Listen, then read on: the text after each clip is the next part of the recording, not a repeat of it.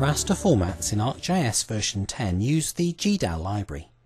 GDAL stands for Geospatial Data Abstraction Library. It is a translator library for raster geospatial data formats released under an open source license by the Open Source Geospatial Foundation. GDAL support enables ArcGIS to read and write more raster formats. There are also more TIFF compressions available when creating a TIFF image file. To review the raster format supported, choose ArcMap Options from the Customize menu. In ArcMap Options, click the Raster tab, and on the Raster Dataset tab, click File Formats.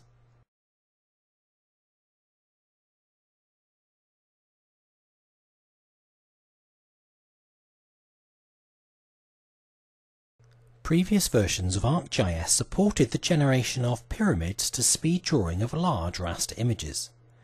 Pyramids were written to RRD files, reduced resolution datasets. This support continues in version 10. Note the Build Pyramid dialog settings in ArcMap options are the same as before, but pyramids are now written to OVR files. OVR stands for Overview. These are more flexible and work with all file formats that allow pyramids.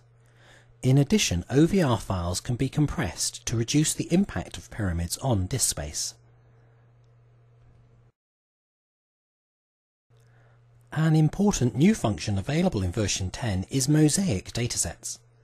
A mosaic dataset can be created in all types of geodatabase, personal file and ArcSDE. Options related to Mosaic datasets are also incorporated on the Raster tab of ArcMap options.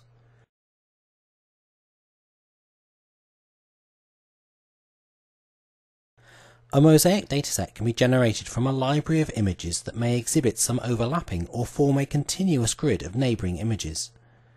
Mosaics streamline access to libraries of aerial and satellite images that cover large spatial areas.